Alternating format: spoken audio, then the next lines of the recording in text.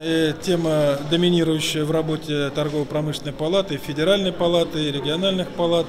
Ну, первое, как я сказал, это законодательство и вообще нормативно-правовая база. Второе – это участие в процессах поддержки.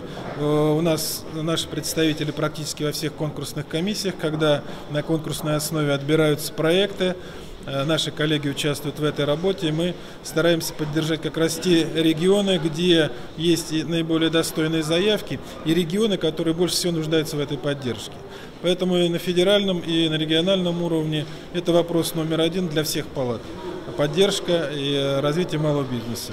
Ну, я должен сказать, что мы э, в развитии инициативы президента, вы знаете, год назад был учрежден э, пост омбудсмена, который сегодня работает в России.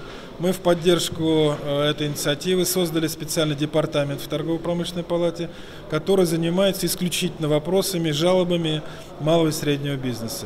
Все жалобы, которые э, к омбудсмену поступают, они перетекают в этот департамент торгово-промышленной палаты, и там прорабатываются, и потом мы или находим ответ, или даем сигналы соответствующие органы власти через омбудсмена, ну и, соответственно, э, даем ответ тем, кто с этими жалобами обращался.